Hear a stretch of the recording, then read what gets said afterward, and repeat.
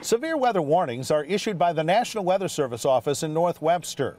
They use a list of criteria to figure out what actions to take. Even though we have satellites and radar, spotters and chasers play a crucial role in that process. But what's the difference between the two? There are a lot of similarities between what a spotter does and what a chaser does. The most similar part is that we're both out in the field looking for severe weather. What's different is the goal. Spotters are people in communities that are trained to keep an eye on the weather and to let the, the local police department, the National Weather Service know, you know, when it's time to sound the warning, what you're seeing. When you're a chaser, you're going out, you're finding the storm, and you're, you know, maybe you're photographing it or you're doing some kind of scientific uh, data collection on it.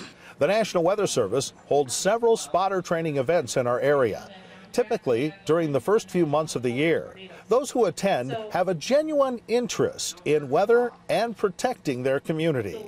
I was a, a child of the Palm Sunday tornadoes, and my parents sent us to bed.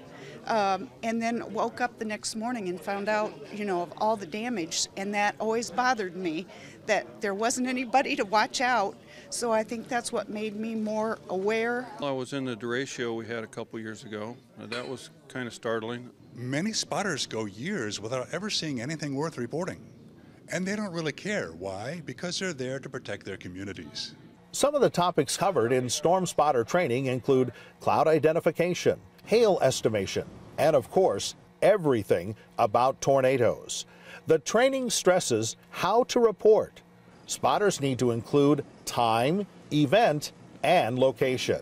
The forming of the clouds gives you an idea what you're looking at, what you're looking for. We'll get reports of funnel clouds that are just uh, normal clouds. They're not really anything severe. Uh, so we wanted to teach people how to be able to identify those features accurately. Storm chasing should be left to the experts, but anyone can be a storm spotter. All you really need to be a spotter is a good pair of eyes, some knowledge, and a way to communicate with the National Weather Service. There's always a need for storm spotters. Even if you missed spotter training this spring, you'll find a link to an online course and more on WANE.com.